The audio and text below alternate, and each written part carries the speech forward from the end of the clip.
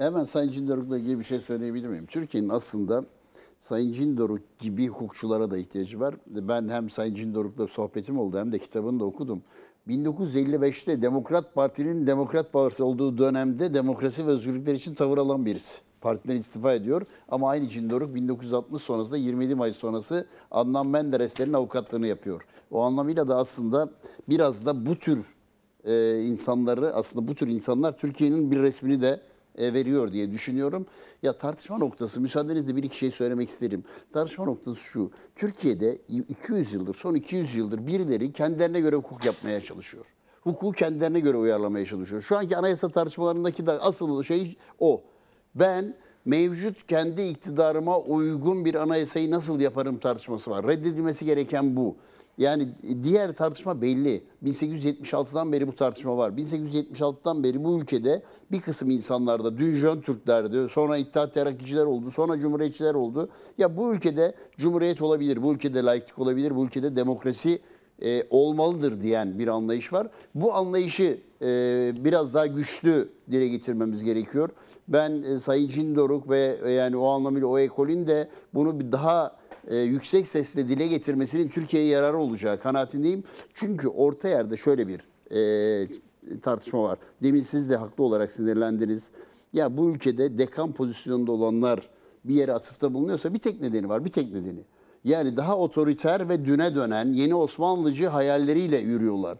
Tartışma noktası ne biliyor musunuz? Aslında bütün bu tartışmalarda bana göre Cumhuriyet'in temel kriteri şu. Cumhuriyet gökyüzündeki iktidarı gökyüzünün imtiyazını yeryüzüne indirmiş, meclise indirmiş. Buna itiraz var. Bu istenmiyor. Kuldan vatandaş yaratmış. Aynen. Yani Yurttaş yaratmış. kul ve ümmet yerine gerçekten yurttaş ve yurttaşlık kavramını yaratmış. Temel itiraz buna. Şimdi Yani si- kul derken padişahın kulu. Öyle derler çünkü biliyorsun. de padişahın kuludur. Padişahın kulları o ülkenin yurttaşı olmuş.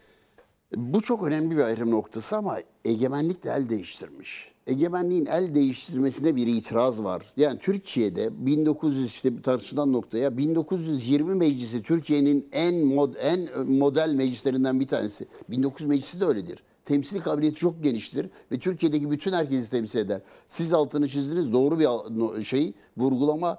Yani kurucu meclis 1920 meclisi aslında kurucu meclistir. O anlamıyla olsun. 1961'de bir nevi kurucu meclis. Bir nevi kurucu meclistir ve Ye- o anlamıyla bir anayasa, anayasa çok doğru. Şimdi Türkiye'de şimdi anayasa dediğimiz iş yani bunu çok daha yüksek sesle söylemem ya uzlaşma üzerine kuruluysa bütün yurttaşları kapsayacaksa yapmanız gereken nedir? O temsiliyeti meclise de vermeniz lazım. O temsiliyete uygun bir kurul oluşturmanız lazım ki ona uygun bir anayasayı şekillendiresiniz. O nedenle de yani 1921 öyle tesadüfen 1921 anayasa tesadüfen söylenebilecek bir anayasa değil. 1920'deki o temsil kabiliyeti çok geniş. Türkiye'nin dört bir yanında hem de savaş koşullarında. Yani bütün livalardan o günkü kavram itibariyle bütün livalardan beşer temsilciyle oluşturulmuş bir meclisten bahsediyoruz bir aya da İstanbul'da kapatılmış olan meclisin ayağı ve onun üzerine yükselmiş bir anayasa, onun üzerine yükselmiş anayasa da esas itibariyle Cumhuriyeti ilan ederken Cumhuriyet gerçekten o demin konuştuğumuz kavramları öne çıkardığı için e, son derece önemli ve bu kavramlar neyle buluşmuş? Bakın bazı işler var. Şimdi ki Cumhuriyeti demokrasiyle buluşturamadığınız sürece bir anlamı olur mu tek başına? Dünyada bir sürü cumhuriyet var. Siz demokrasiyle buluşturmanız lazım. Siz cumhuriyeti o anlamıyla demokrasiyi, laiklikle. Evet tabii. Yani Yani adı- adı öyle. yani çok olduğu için e, söylemeyeyim dedim.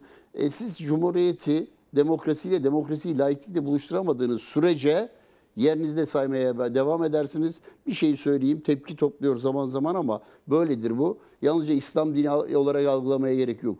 Dinden demokrasi çıkmaz, Çıkmaz. dinden çoğulculuk çıkmaz.